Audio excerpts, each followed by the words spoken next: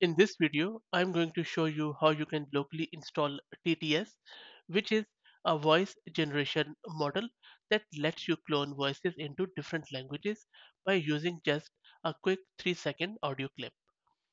So what happens is that in this video, I'm going to record a very short cl- audio clip in my own voice. I will save that file as a WAV file, which I already have done. You can use Windows video or audio recorder for that, or even use any online tool to record your voice. You can even use your phone to record it. Once you have a very small WAV file or WAV file, then upload it to your Linux system, Windows system, or whatever operating system you are using. Then I'm going to install this TTS uh, model, and then we will just give it a text prompt. It will convert that text prompt into audio by using the voice which we will give it as a sample. Okay, let's see how it can be done. For this demo, I am using AWS SageMaker Notebook, which is using Amazon Linux 2 And as I mentioned earlier, you can use any operating system of your choice as long as you have Python installed. The first step we need to do is to install some of the prerequisite libraries, transformers and TTS. So let me run it and install it. Shouldn't take too long.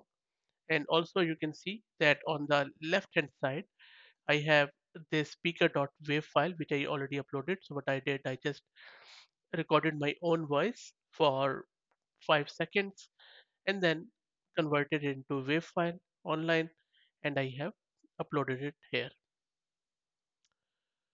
So as you can see that it is installing now transformers and TTS. So let's wait for it to finish. Both of these modules are done.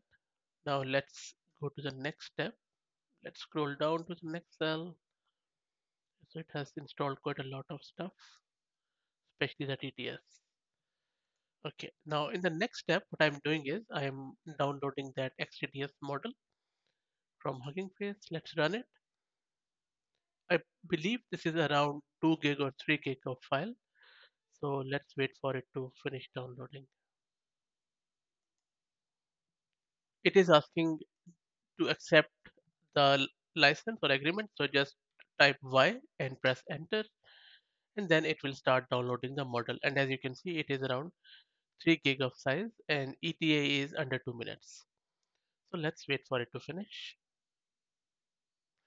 Also, while it runs, I would like to mention that I am using uh, AWS EC2 instance of type G4DN XLarge and it has one GPU.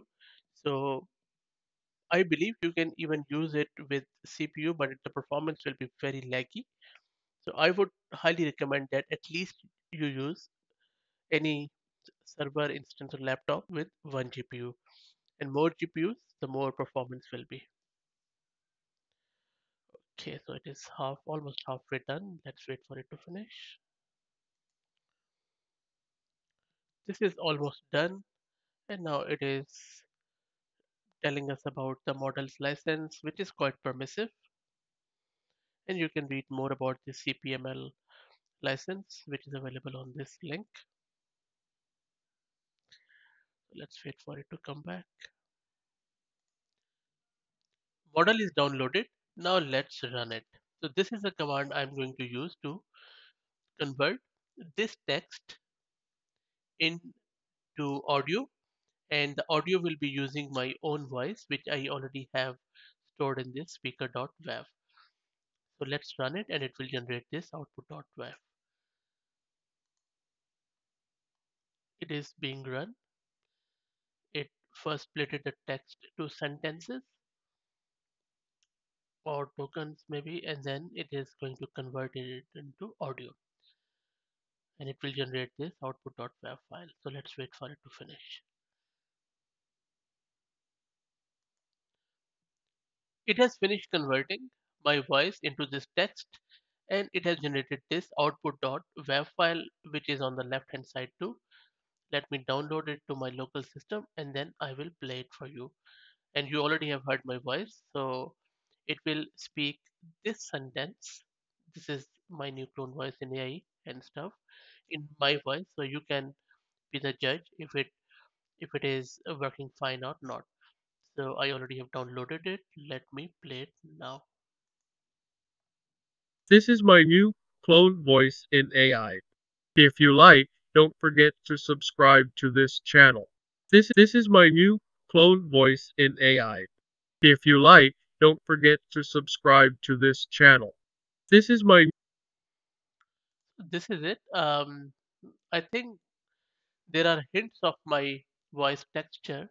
I won't say that it 100% cloned my voice, but still, I think with proper training and with maybe more um, beefy system with big files, it might get close. But still, I think even with this simple hardware with a very small file, the performance is really amazing. And I think this is only going to improve with the passage of time. All of these commands which I have used, I will put them in my blog and I will drop the link in video's description. If you like the content, please consider subscribing to the channel. Thank you very much.